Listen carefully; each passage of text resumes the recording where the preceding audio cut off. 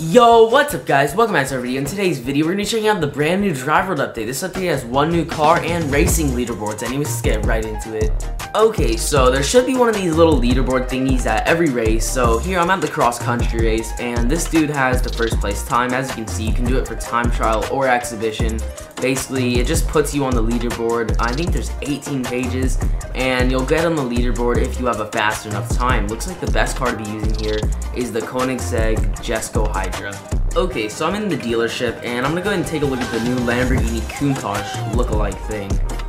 Um, so here's the car. Okay, it actually doesn't look that bad from the rear end. From the side, it also looks quite like the car, but in the front, only thing I would change is the headlights. They're getting closer to what we want, but these headlights just really don't look good on this car.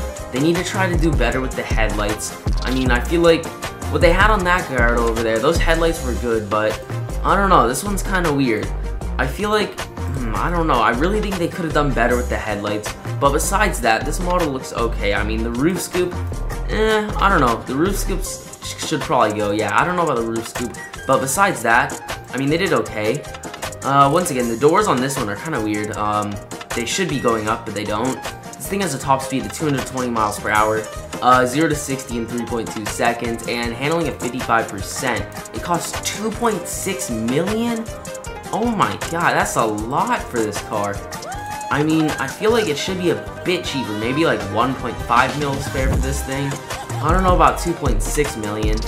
Um, one more thing I've noticed though, every Lamborghini that came out has the same rims. I just feel like that's kind of lazy on the Voldex development team.